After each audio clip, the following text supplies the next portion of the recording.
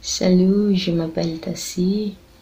Euh, je suis là pour partager un peu de mon expérience avec les Français. C'est la première fois que je fais un cours. Et maintenant, je suis accro en français. Eu conheci a Elisa no Instagram e desde então comecei a seguir suas publicações. E o que me chamou a atenção na Elisa é a sua paixão por transmitir conteúdo. Ela realmente ela gosta do que ela faz, isso eu acho que é importante qualquer área.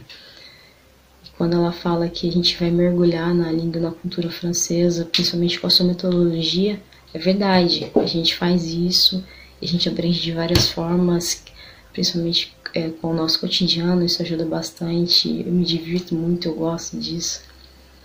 E eu resolvi investir no curso por isso. Eu não estava procurando um curso de francês. Eu estava em busca de aprendizado. E com a Elisa eu encontrei isso. E um diferencial também que me chamou a atenção é, foi a comunidade fechada, porque é bem bacana, é, é, principalmente por ser um curso online, né? É, na comunidade fechadas a gente consegue crescer junto com outras pessoas que compartilham o mesmo objetivo que a gente. Isso é muito legal. Tanto que a gente pode compartilhar o que a gente aprende e aprender com as pessoas. Muito importante isso aí.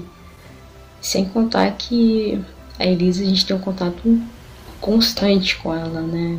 Isso ajuda bastante. Eu tô muito feliz.